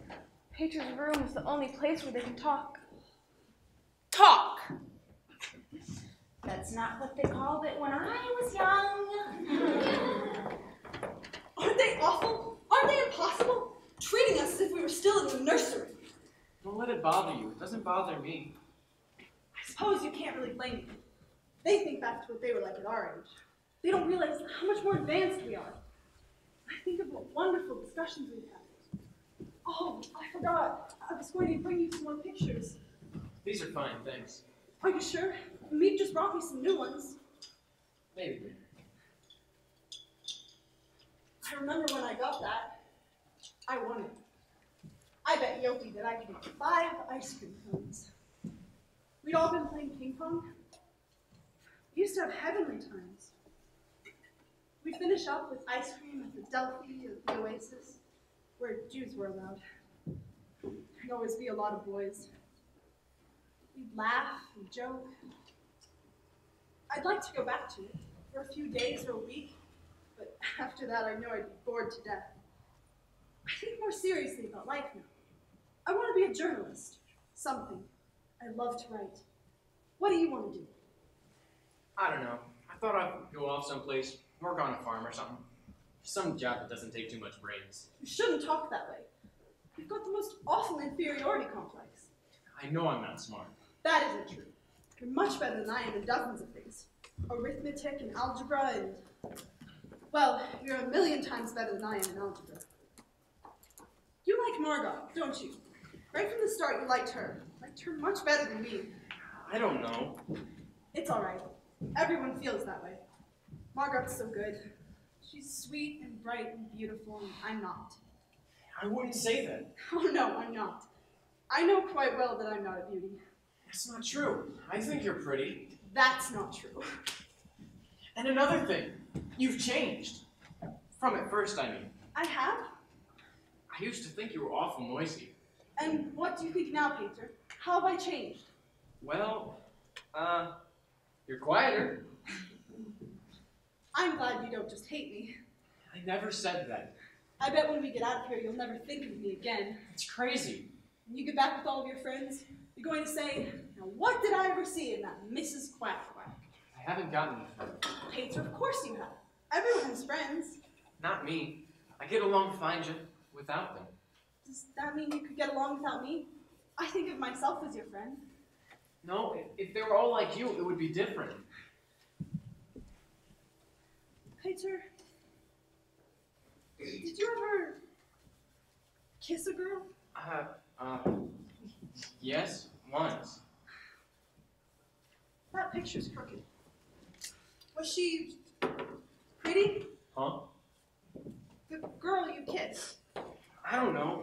It was a party, one of those kissing games. Oh, I don't suppose that really counts, does it? It didn't with me. I've been kissed twice. Once, a man I'd never seen before kissed me on the cheek after he picked me up off the ice and I was crying. The other was Mr. Koophuis, a friend of father's who kissed my hand. You wouldn't say those counted, would you? I wouldn't say so. I know for certain that Margaret would never kiss anyone unless if she was engaged to them.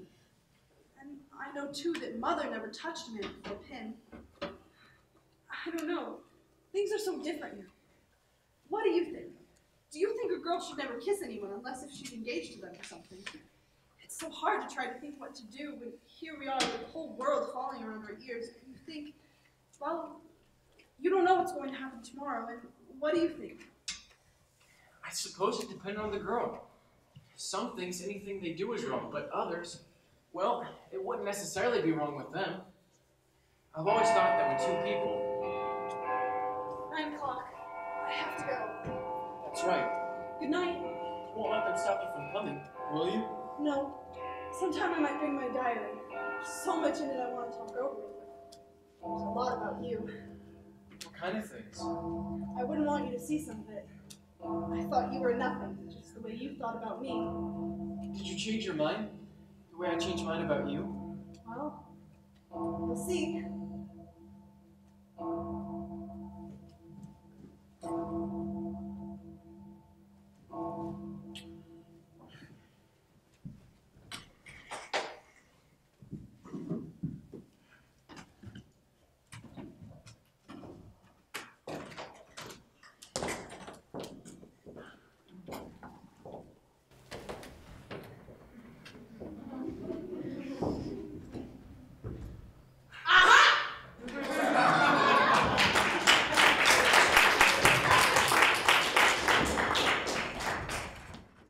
By this time, we all know each other so well that if anyone starts to tell a story, the rest can finish it for him. We're having to cut down still further on our meals. What makes it worse, the rats have been at work again. They've carried off some of our precious food. Even Mr. Dussel wishes now that Mouschi was here. Thursday, the 20th of April, 1944. Invasion fever is mounting every day. Miep tells us that people outside talk of nothing else. For myself, life has become much more pleasant. I often go to Peter's room after supper. Oh, don't think I'm in love, because I'm not. But it does make life more bearable to have someone with whom you can exchange views. No more tonight. P.S. I must be honest. I must confess that I actually live for the next meeting. Is there anything lovelier than to sit under the skylight and feel the sun on your cheeks and have a darling boy in your arms? I admit now that I'm glad the Von had a son and not a daughter. I've outgrown another dress. That's the third. I'm having to wear Margot's clothes after all. I'm working hard on my French and am now now reading La Belle Nivernaise.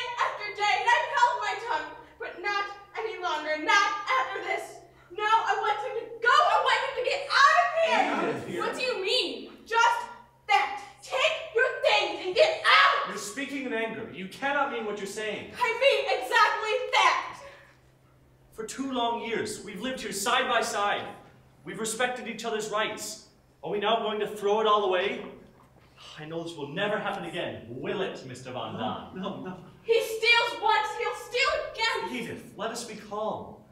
Go to our rooms and calm down for a while, and we'll come back and talk this out. We'll find some no, way no, no more talk. I want them to leave. I want them to get out of here. They put us out on the streets. There are other hiding places. A cellar, a closet. I know, and we haven't any money to even pay for that. I'll pay for it out of my own pocket. I'll give it gladly. Mr. Frank, you said that you could never forget what Putti did for you when you first came to Amsterdam. You said you could never repay him. If my husband had any obligation to you, he's paid it over and over. Edith, I've never seen you like this before. I don't know you. I should have spoken up long ago. Can't be nice to some people. There would have been plenty for all of us if you hadn't come in here. We don't need the Nazis to destroy us. We're destroying ourselves. Take this to me. She'll find you a new place. Perfect enough putting Peter out. Peter hasn't done anything. I say the children, I mean Peter too. Father left, I'd have to go. He's no father to you, that man. He doesn't know what it is to be a father. It wouldn't feel right. He couldn't stay. Very well then. Sorry. No, Peter, no. I don't care about the food. They can have mine. I don't want it. Like, don't send them away. It'll be daylight soon. They'll be caught. Please, Mother. They're not going now.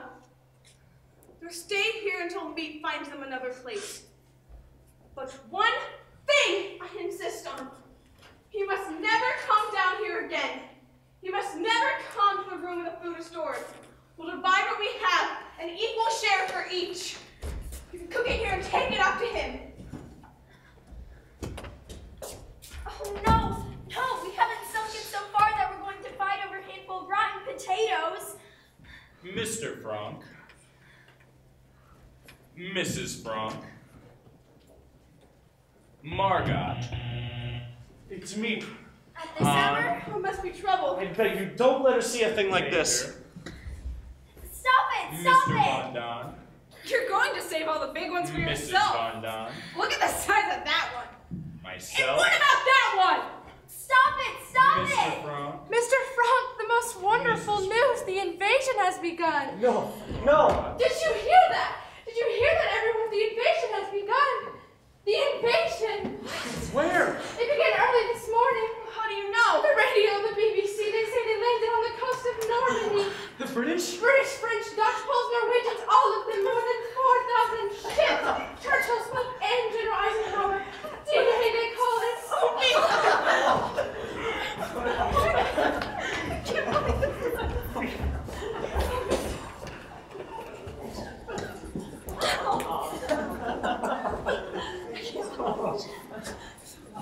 Thank God it's come. I tell Mr. Kraler, this will be better than any blood transfusion. What part of Normandy did they land? Did they say? Normandy, that's all I know. I'll be back as soon as I hear some more. What did I tell you? What did I tell you?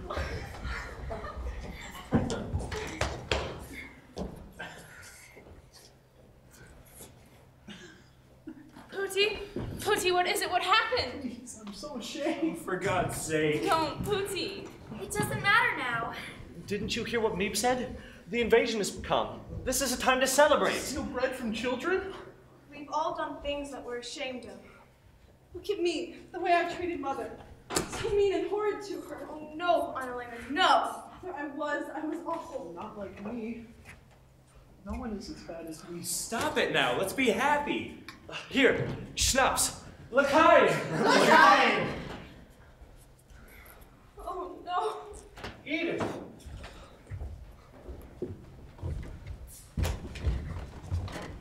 I think of the horrible things I said. No. No, you're right. Oh, well, then I should speak that way to you. Our friends are Stop it! Stop it! You're spoiling the whole invasion!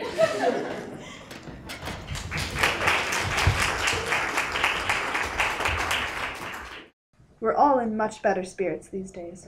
There's still excellent news of the invasion. The best part about it is, I have a feeling that friends are coming.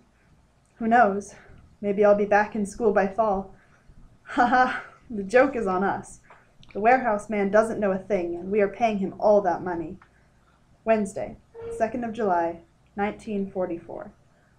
The invasion seems temporarily to be bogged down. Mr. Kraler has to have an operation, which looks bad. The Gestapo have found the radio that was stolen, and Mr. Dussel says they'll trace it back and back to the thief, and then it's just a matter of time till they get to us. Everyone is low. Even poor Pim can't raise their spirits. I have often been downcast myself, but never in despair.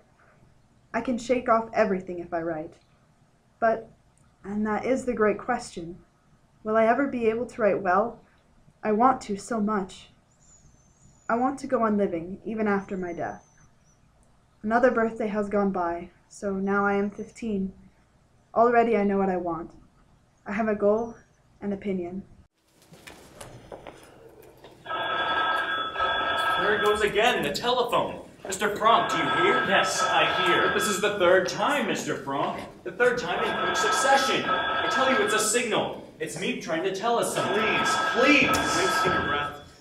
Mr. Frank, for three days now, he hasn't been to see us. And today, not a man has come to work. There hasn't been a sound in the building. Look, I tell you, Mr. Kraler's dead. That's the only explanation. He's dead and they've closed down the building and Miep's trying to tell us. No, she'd never telephone us. Mr. Frank, answer that. No. Just pick it up and listen. You don't have to talk. Just listen and see if it's Miep. No, I've said no. I won't do anything that might let anyone know we're in the building. Mr. Frank's right. There's no reason to tell us whose signed. you're. Please, I believe if we wait patiently, quietly, help will come. I'm going down.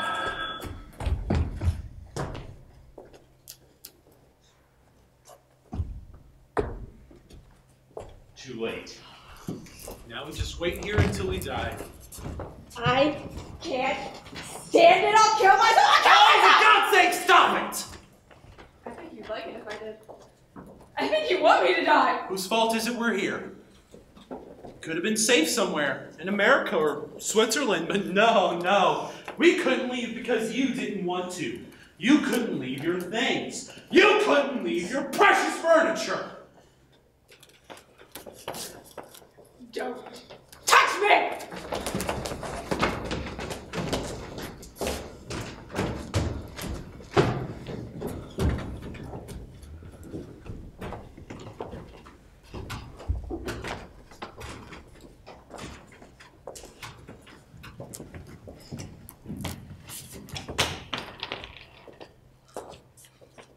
Look at the sky, Gator. Isn't it lovely? Aren't the clouds beautiful? You know what I do? It seems as if I couldn't stand being cooped up here for one more minute. I think myself out. I think myself on a walk in the park where I used to go with Pim, where the roses and the daffodils grow down the slopes. The most wonderful thing about thinking yourself out? You can have it any way you like. You can have violets and roses and chrysanthemums all blooming at the same time. It's funny. I used to take it all for granted. Now I've gone crazy for anything to do with nature. Haven't you? I've just gone crazy. I think if something doesn't happen soon, if we don't get out of here, I can't stand much more. I wish you had a religion, Peter. No thanks, not me. Well, I don't mean you have to be orthodox or believe in heaven and hell and purgatory and things. I just mean some religion. It doesn't matter what. Just to believe in something. I think of all that's out there. Trees, flowers, seagulls. I think of the dearness of you, Peter, and the goodness of people we know. Mr. Kraler, Miep, Dirk, the vegetable man, all risking their lives for us every day. When I think of these good things, I'm not afraid anymore.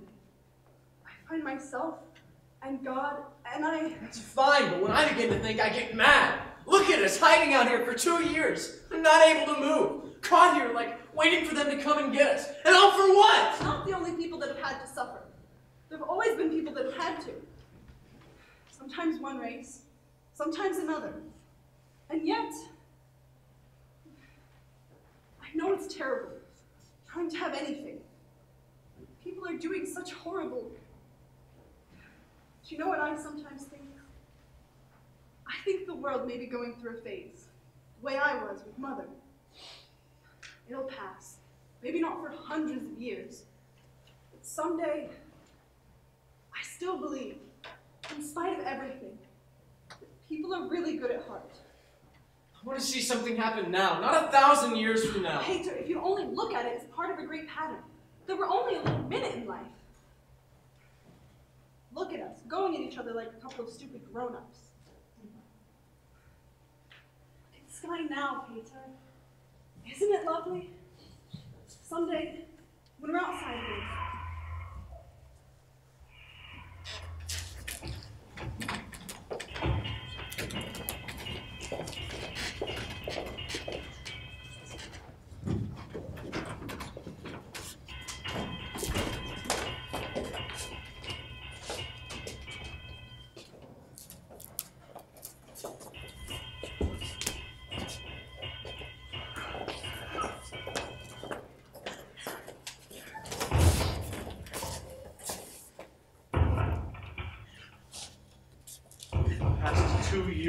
we've lived in fear. Now we can live in hope.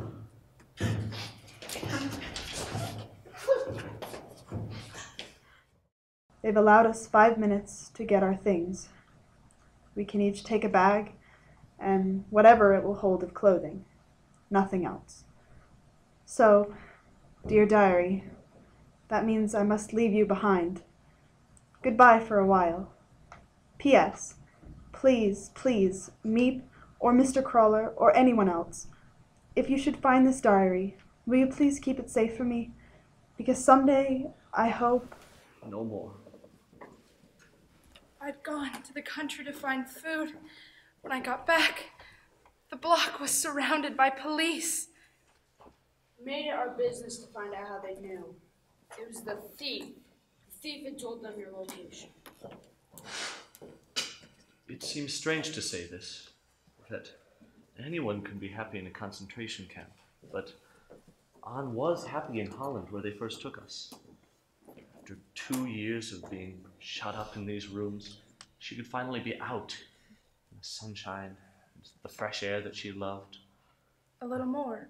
Yes, please. Thank you. The news of the war was good. The British and Americans were sweeping through France. We felt sure they would get to us in time. And then we were told we were to be shipped to Poland, the men to one camp, the women to another. I went to Auschwitz, and they went to Belsen. After a while, we were freed, the few of us who were left. The war wasn't yet over, so it took us a long time to get home. We'd be sent here and there behind enemy lines where we'd be safe. And each time the train would stop at a crossing or siding, we'd get out. Where were you? Were you at Mauthausen? At Belsen? At Buchenwald? Is it possible you knew my wife? Did you ever see my son? My daughter? That's how I found out about my wife's death. Of Margot, the Van Daans, Peter, Dussel. But um, I'd still hoped. The other day I went to Rotterdam. I'd heard of a woman there. She'd been in Belsen with Anne. Now I know. In spite of everything, I still believe that people are really good at heart. She puts me to shame.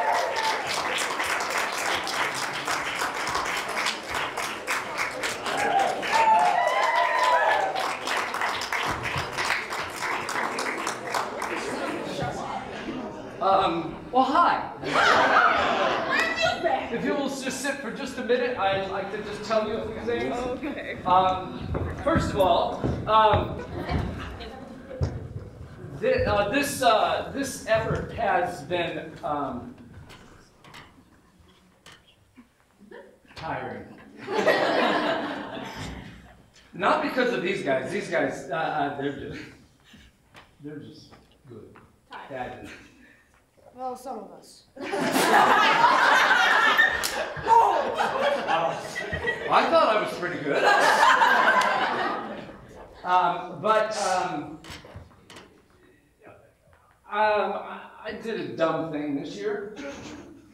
Um, I said, yeah, we want to do Diary of Anne Frank. And then um, a theater group in Peoria, Corn Stock, decided they wanted to do My Fair Lady. I've always wanted to do So I auditioned and I made that cast playing the role I want to play. In the meantime, I've got this cast and I'm trying to help them. I'm trying to do what I'm supposed to do. I'm trying to grade finals. I'm trying to do all of this. I'm trying. It's one thing after another. And thank God for my wife.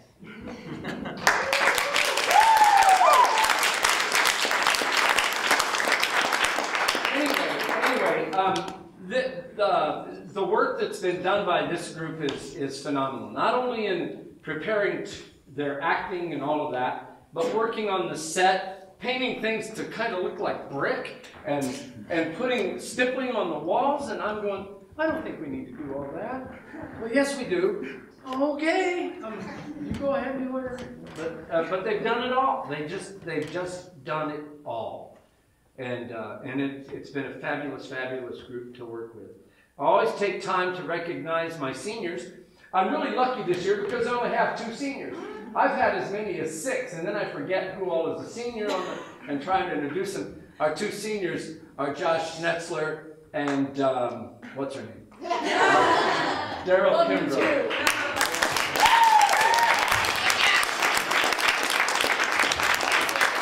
But, but I have so appreciated everything that they've done, and you should appreciate it too. Um, if you're a parent, I can't do this. I can't. Um, be proud. Um, love them to death. They're so stinking good. But anyway, uh, if you enjoyed what you saw tonight, and I'm sure you did, please pass that on. Share it on your Facebook page tonight. If you Instagram pictures, do that. Whatever you do, I don't, I don't, do any of that stuff. Facebook, that's all I do. Um, but uh, let them know that you enjoyed it. Encourage. We got two more nights, um, which was unusual. It's been an unusual year for scheduling at the end of the year, has it not, Mr. O'Loughlin? Um, we had no snow days this year, so that kind of moves things around a little bit. And um, so, yeah, there's all sorts of things going on. and We're trying to jam all this in at the end of the semester, but we got her done. You got her done. You should be proud. Um, Anyway, that's. Enjoy. Time to say hi, take pictures, whatever you need